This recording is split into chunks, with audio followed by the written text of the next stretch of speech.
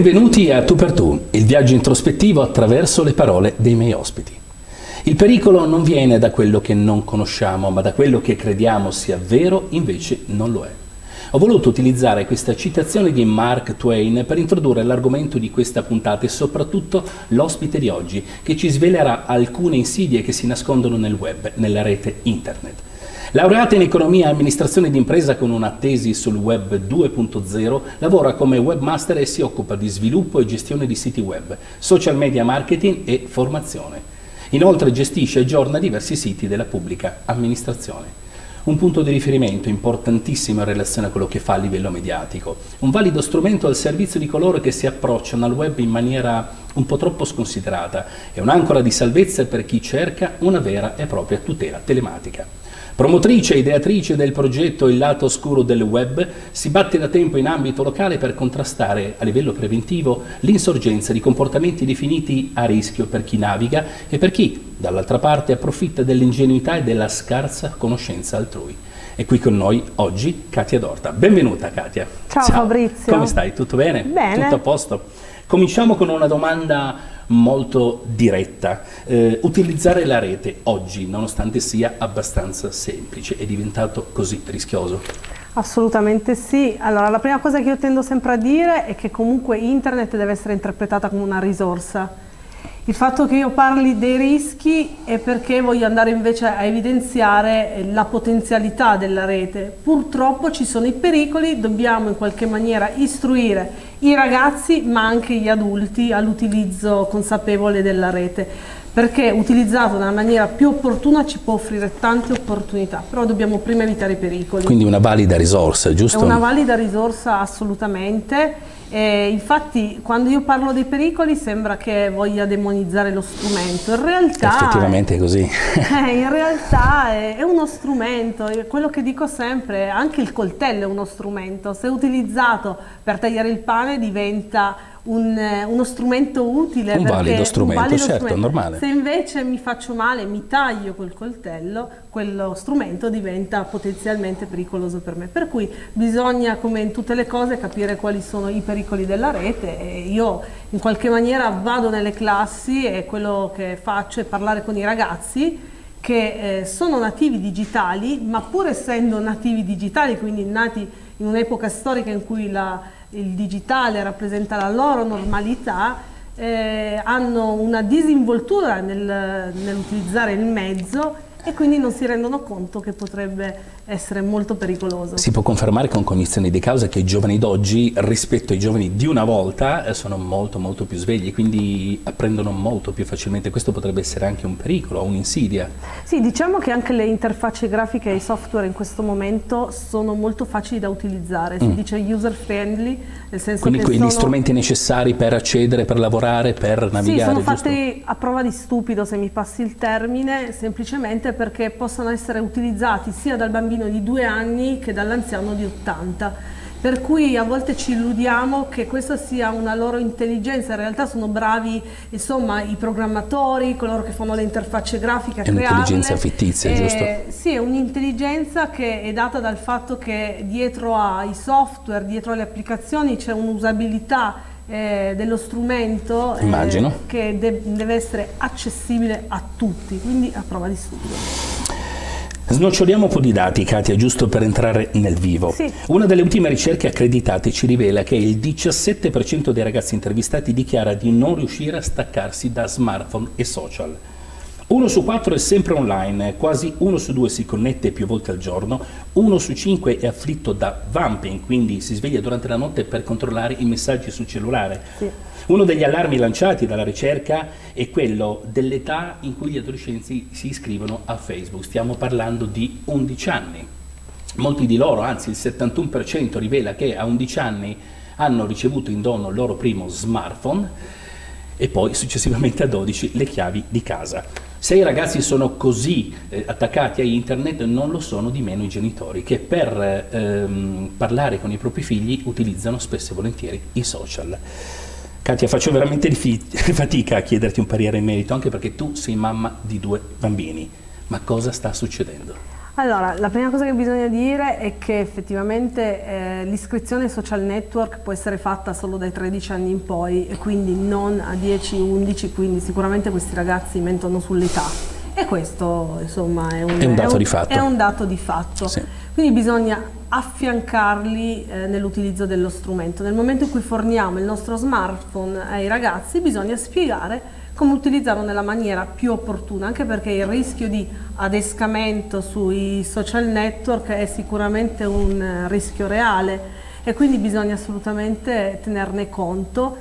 E poi io dico, nel momento in cui abbiamo spiegato i pericoli li abbiamo affiancati, mm. questo può anche non rappresentare un, un pericolo per, per, i ragazzi, nel senso che se loro lo vedono con disinvoltura va bene. L'unica cosa è che effettivamente casi di vamping piuttosto che di dipendenza Appunto quelli sono dei casi esagerati ovviamente. Quali sono I delle vere devono, e proprie uscire, patologie secondo te? Devono essere stimolati in maniera diversa. Sì, sì, in Italia c'è il rischio di quel fenomeno che si chiama ikikomori, mm. vuol dire che ehm, è un fenomeno che ci siamo importati dal Giappone e in cui praticamente i ragazzi si ehm, vanno verso l'isolamento in camera cioè rimangono in camera e fanno tutto lì davanti al PC. Quindi, Quindi perdono, la loro vita diventa una vita online. Perdono ogni contatto con il mondo esterno e addirittura con la propria famiglia il più delle volte. Esatto, e abbiamo importato purtroppo questo brutto fenomeno dal Giappone, ci sono dei casi anche in Italia e in quel caso lì il ragazzo va spronato a fare altre cose, va stimolato in maniera diversa, ovviamente lì ci vanno gli specialisti. Eh. Tante volte i genitori se ne vogliono prendere carico, ma non è possibile senza l'aiuto. Ah, loro stessi devono prima... Eh, e ci arriviamo pure a questo, i genitori, secondo te c'è una sorta di cultura di base da parte dei genitori per impedire o magari facilitare o favorire determinati comportamenti? I genitori spesso sono inconsapevoli, a volte sono loro stessi che non sanno come vengono utilizzati eh, i mezzi e quindi eh, non conoscendo i pericoli lasciano fare. Lasciano fare. Ah, oh, mi sono ritrovata di fronte ai genitori che spesso dicono no non scendo in cortile perché ho paura di chi può incontrare magari nel giardinetto però poi magari danno loro l'utilizzo dello smartphone 24 ore su 24 senza mettere un che paradossalmente è più pericoloso no? giusto? Eh, esatto perché nel momento in cui io do il cellulare al, a mio figlio senza in qualche maniera averlo avvertito delle dinamiche, piuttosto senza eh, aver fatto il giusto affiancamento. Io sto praticamente aprendo la porta di casa, chiunque può entrare. Certo, eh, certo ovviamente il, lo smartphone mi mette in relazione, in contatto con tutto il mondo. Cioè gli iscritti a Facebook attualmente sono 2 miliardi di, di persone. Questo è un dato oggettivo molto molto mm, importante. L'adolescente non, l'adolescente non è tanto su Facebook utilizza più Instagram, diciamo, ma comunque l'utenza è alta comunque, sono, sono, tanti, tanti, tanti ragazzi che utilizzano Instagram. Nelle iniziative che fai tu nelle scuole, ma tu fai anche pressione sui genitori, perlomeno parti da loro come punto d'appoggio, come inizio? C'è certo sempre senso. un incontro con i genitori. Una di sorta solito. di interazione, giusto? Sì, io lo faccio a fine corso, spesso per segnalare dei casi che mi succedono all'interno delle classi, cyberbullismo, sexting, che vuol dire eh, scambiare materiale a sfondo sessuale tra, con dispositivi, eh, piuttosto che altri casi insomma, di, di truffe, piuttosto, e tutte le volte mi ritrovo a parlare con genitori che magari non si rendono conto di quello che sta vivendo il ragazzo, ma non perché non sono a genitori attenti, ma perché vivono quelle dinamiche in maniera un po' distaccata dai, dai propri figli. Si può dire che lasciano correre presi dalla vita, dalla quotidianità, in un certo senso, si può dire così? Sì, diciamo che la maggior parte dei genitori che vengono informati che magari eh, il figlio è un cyberbullo pensano che sia un gioco, eh, uno scherzo, un, eh, tante volte dicono ma no, ma lui voleva solo giocare, voleva solo scherzare, voleva solo... però il cyberbullismo è reale, non tutto rientra nel cyberbullismo, in questo momento è un tema abbastanza inflazionato, ogni volta sentiamo ah vittima di bullismo, vittima... Sì e in realtà il bullismo ha delle caratteristiche ben particolari. A me fa sorridere quando sento eh, quel docente è, è, stato vittima di bullismo, perché il bullismo non riguarda gli adulti. Quello è un atto giovani, delinquenziale. Sì. Cioè, il bullismo riguarda gli adolescenti, poi una, eh, ci deve essere un, una ripetizione nel tempo, non il caso isolato, ci devono essere due una persone... sorta di recidiva, via. Sì, ci deve essere qualche cosa che è intenzionale, non è lo scherzo fatto occasionalmente e poi le due parti devono essere eh, poste in due maniere diverse, nel senso che ci deve essere il più debole e ci deve essere il più forte. Se sono paritari comincia già a non esserci il bullismo perché la persona si sa difendere. È una sfida, è una competizione, vedi che, certo. Sì, vedi che ci sono comunque degli elementi che lo vanno a caratterizzare, ma in questo momento ogni volta che c'è un atto delinquenziale di ragazzi, bullismo, bullismo, bullismo. No. Ti sono mai capitati dei casi limite veramente gravi ai quali hai dovuto sì. sottoporre l'attenzione agli organi superiori?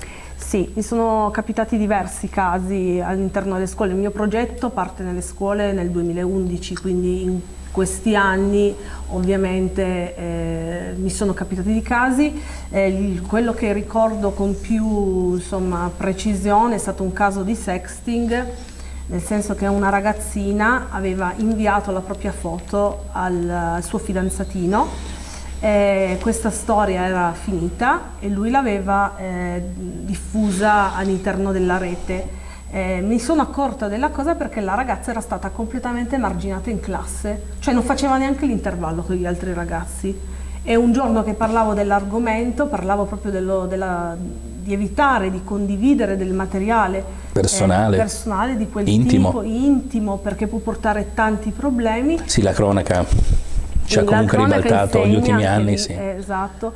Eh, nel momento in cui riporto il caso lei si è messa a piangere, per cui io ho capito che c'era qualcosa che non andava, eh, ho mh, proiettato un video e sono uscita fuori con lei per cui lei mi ha raccontato che era proprio vittima e si sentiva proprio chiamata come se io stessi raccontando la sua sì, la storia, sua storia no? certo. io raccontavo una storia generica di una persona che può aver inviato però nella fattispecie avevi già individuato quel preciso caso quindi la prendevi alla larga in un certo la senso stavo giusto? prendendo alla larga perché spesso capita e loro Immagino. mi raccontano mia, la mia fidanzata mi ha inviato quelle foto perché poi i maschietti sono sempre tendono eh, un attimo a esaltare a quello che è il proprio ego esatto a mettersi un po' più in mostra e insomma, a vantarsi addirittura no? di aver ricevuto del materiale a sfondo sessuale da parte della fidanzatina. Si parla di dinamiche che avvengono 12-13 anni, quindi secondo me anche molto molto presto però è, succedono, capitano. In questo caso il fine non giustifica i mezzi. Per la tua esperienza, qual è la parte più predominante all'interno del bullismo? La parte maschile o la parte femminile, per quanto riguarda la tua di esperienza? Eh, la mia esperienza probabilmente è quello femminile ed è anche forse il più agguerrito addirittura. quando, quando succede perché sì perché le cambiano le dinamiche? le ragazzine fanno molta comunella tra di loro eh, e quindi quando isolano una persona la isolano completamente in maniera drastica. sì ma ultimamente anche il bullismo femminile ricorre anche all'utilizzo della violenza proprio delle mani se parliamo proprio di bullismo. Quindi in questi anni mi è capitato di vederle molto cyberbullismo femminile perché le ragazzine commentano molto, giudicano. E Certo, eh, anche i maschietti fanno, però... La loro parte sicuramente, ma si può dire che emulano eh, tutti quei filmati che vediamo su YouTube eh, immancabilmente perché poi ovviamente non vengono censurati, quindi vengono buttati in rete in maniera sconsiderata, quindi magari va da sé che qualcuno possa emulare per il semplice fatto che tanto è stato messo, è stato messo in rete, quindi lo posso fare anch'io. Esatto, secondo me è proprio un fenomeno di emulazione tante volte condividere dei filmati in rete, ma lo facciamo a volte anche noi adulti, di violenza, in realtà non serve a mh, denunciare quella violenza, ma molte volte a far sì che tanti ragazzi guardano, sì, pens pensano poi alla fine che sia la normalità, che, che, possa avvenire, che possa essere così e quindi fanno le, le stesse identiche cose. Eh, questo del, dell'emulazione è un problema che si pone tutte le volte che ci sono quelle definite challenge, cioè mm. le sfide che i ragazzi fanno. Sì. Se una sfida Classico. sana, tra virgolette, che fa ridere, è costruttiva, è ci sta, ci è goliardica. Esatto, è goliardica. Ma se la challenge mette a rischio la propria vita, come per esempio quella dei selfie pericolosi, magari fatti sui binari del sì, treno, scandalosi. Eh, esatto, tanti ragazzi hanno perso la vita sì. per uh, dei selfie estremi, per uh, perché sono stati sfidati, ah tu non sei in grado di fare quel tipo di selfie, quello è un fenomeno di... Sono importanti le iniziative che fai tu perché in un certo senso prevengono determinati atteggiamenti che potrebbero sfociare innanzitutto in reati, seppur minorili magari, di carattere minorile, però comunque stiamo parlando sempre di reati. La rete sta cambiando gli stili educativi e presenta una serie di rischi per i più giovani che vanno dalla pornografia, l'abbiamo citato, al sì. cyberbullismo, sì. allo scambio di informazioni a scopi commerciali e soprattutto all'adescamento online. Un fenomeno molto molto diffuso ma che non spesso se ne parla. Come mai? Sì, ehm, una cosa volevo dire sulla pornografia prima di che eh, la visione della pornografia eh, spesso viene sottovalutata dai genitori perché spesso si dice anche ai miei tempi in qualche maniera eh, andavamo a, a guardare insomma, erano a altri tempi eravamo, eravamo curiosi. Ma eh, il problema è che la visione di determinati filmati in un'età precoce dove magari il ragazzo non è pronto a recepire delle immagini va a, a costruire la sua sessualità quindi questo cosa vuol dire? Che se mi arriva un messaggio sbagliato da parte di, un, de, di immagini pornografiche, io penso che quello è, è, è, quello che si fa, è così. E quindi mh, sbagliamo a non, a non, capire che tante volte eh, il fatto di eh, andare a vedere dei contenuti che sono inappropriati per i ragazzi potrebbe far loro molto male proprio per la loro vita, no? certo, per, normale, una, per avere poi una vita sana. Comunque alla base c'è sempre la mancanza di un controllo, di un monitoraggio continuo, c'è sì. niente da fare. Abbiamo parlato di pornografia, di cyberbullismo, però eh, c'è da dire che all'interno del web e in una parte nascosta del web che si chiama deep web e dark web eh, c'è anche la violenza, ci sono atti cruenti, insomma ci sono veramente delle cose inenarrabili. Vorrei ci spiegassi, Katia, che cos'è il deep web e il dark web, questa parte nascosta che pochi o tanti conoscono. Sì, diciamo che gli indirizzi internet che conosciamo noi sono veramente una piccola parte di quello che è la rete nel dark web ci sono tutti quegli indirizzi, tutti, tutti quegli indirizzi che non sono raggiungibili dal, dal motore di ricerca. Perdonami, ma può un ragazzino accedere al deep web con qualche conoscenza informatica? Dovrebbe, più... dovrebbe avere eh, a volte o l'indirizzo specifico o tramite comunque dei software specifici, sì. Questo sì, è un po' più difficile, un po' più complicato, ma insomma potrebbe accedere, sì. Tu ne parli comunque sia il lato scuro del web e quindi bene o male sì, insomma guarda, tratti anche tocco, questa materia? Tocco un po' meno l'argomento, anche se eh, perché è il più pericoloso che potrebbe indurli comunque a fare ricerche a su come si finisce nel, nel, deep web. Questo anche deleterio. Eh, noi facciamo sempre l'esempio di un iceberg, la parte di internet che conosciamo noi è praticamente solo solo la punta. E Tutto quello che c'è sotto è praticamente Ed è molto più grande, giusto? Di... Quello che sì. non si vede. Sì, perché c'è dal, dal, commercio degli organi piuttosto... Guarda, sta facendo dei bellissimi servizi un, un mio amico che si chiama Marco Camisani Calzolari che, che, trattano praticamente l'argomento del deep web in questo momento sulle reti, reti nazionali per cui eh, quel messaggio che si dà è fate attenzione perché c'è la vendita di armi, quindi anche noi insomma comuni, comuni persone che siamo a casa, che navighiamo, Immagino. ci rendiamo finalmente conto che esiste una parte di internet che, e quindi è bello che cominciamo a informare anche a casa. In una delle tue tante interviste che hai rilasciato reciti testuali parole. I miei figli sono cresciuti in un ambiente dove il digitale è visto come la normalità e proprio per questa ragione, sin da subito mi sono posto il problema di come educarli ad usare internet e soprattutto come tutelarli. Ultimo particolare, ma non per importanza, dici che spesso sono loro a fornirti il pretesto per approfondire le questioni legate alle scelte degli strumenti, a osservare i loro comportamenti e ad immaginare una soluzione. Ce ne fossero mamme come te, Katia, cosa mi dici al riguardo? Ma è, ehm, è vero che sono loro a fornirmi gli spunti, perché tante volte se mio figlio ascolta eh, uno youtuber io devo sapere chi è, di cosa parla e perché lui è interessato ad ascoltarlo. Eh, ultimamente c'è, il fenomeno delle canzoni che dicono delle parole che non dovrebbero dire, dei testi che non dovrebbero essere però i nostri ragazzi li ascoltano, dobbiamo cercare di farci la domanda prima, no? Sì. perché li ascoltano? E quindi tante volte insomma, io vado a indagare un po' su quello che c'è nella rete proprio per parlare con i ragazzi e dire ragazzi fate attenzione perché i messaggi che voi ascoltate sono questi, ma sono messaggi che sono fatti apposta per avere un pubblico di riferimento come voi e per insomma far soldi perché poi alla fine un pubblico neanche poi tanto di nicchia quindi alla fin fine stiamo parlando di un pubblico molto vasto no? Sì, sì, sì, tanti youtuber sono, insomma, na- tanti, tanti cantanti che conosciamo sono nati su YouTube, quello lo, lo sappiamo. che Però- cosa ne pensi degli influencer? Che, come li contestualizzi, come li definisci, come li cataloghi tra virgolette? Mm, guarda, è un tema mm, molto utilizzato, i veri influencer sono veramente pochi secondo me poi alla fine, cioè non- mm, tutti vogliono essere la Chiara Ferragni di turno, ma solo, ma solo lei è riuscita a fare i soldi facendo veramente l'influencer. Perché tante volte anche i follower piuttosto che i seguaci che abbiamo sui social network sono comprati.